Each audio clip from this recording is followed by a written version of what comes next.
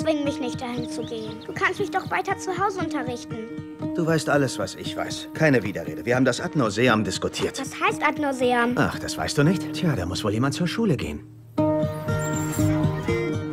Wer kann mir sagen, was 3 plus 3 ist? Jeder weiß, dass es 6 ist. Mary, kannst du mir vielleicht sagen, was 57 mal 135 ist?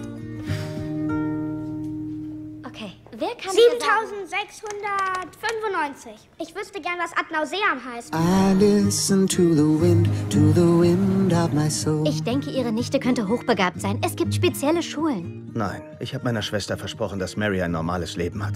I've sat upon the setting Wer ist die. Frau vor unserer Haustür? Das dürfte deine Großmutter sein. Heilige Sch... Das ist ein MacBook, Darling. Weshalb bist du hier?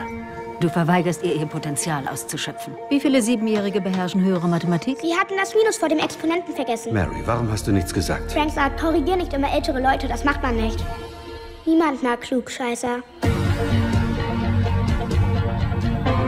Wir beantragen meiner Mandantin, das volle Sorgerecht zu übertragen. Mary! Mary!